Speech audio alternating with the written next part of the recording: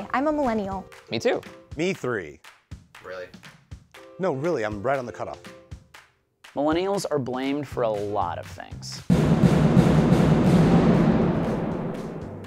And if Donald Trump wins next week, you can bet we're going to be blamed for that too. They'll call us lazy or ignorant. Or they'll say we forgot to vote because we were too busy playing Pokemon Go. Newsflash. No one plays Pokemon Go anymore. There's enough blame to go around for the storm we're in, and that's no secret. Publicans. The one thing the pundits have right is that young millennials like us do have the power to keep Trump out of the White House. If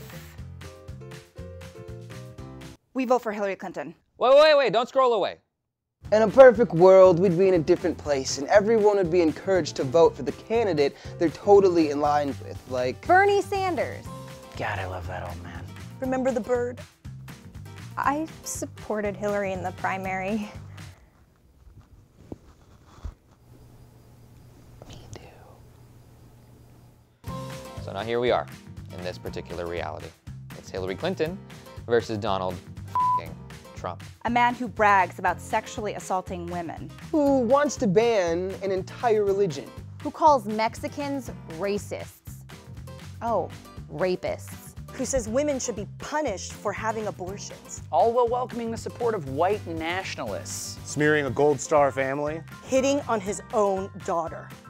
Encouraging Russia to meddle with our election. Suggesting Hillary Clinton be shot.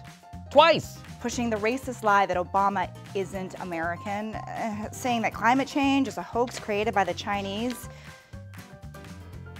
Jesus, this is a long list. The point is, Hillary Clinton needs to win. And honestly, Hillary's pretty great. She believes in a lot of the same things Bernie does, like free college tuition, campaign finance reform, raising minimum wage, expanding Social Security, and saying no to TPP. But Hillary didn't always support those things as much. You know, Bernie's been there with us since day one. Shh. Don't shush him, it's true. Her views have become more progressive on some things over time, but that's not something we should fault her for. She's listening to us. That's what we should want in a president. Wow, did Hillary really go undercover in the 70s to fight segregation in schools?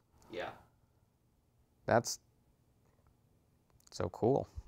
And everyone who said she'd abandon these ideas after she beat Bernie, guess what? She didn't. They are still her platform.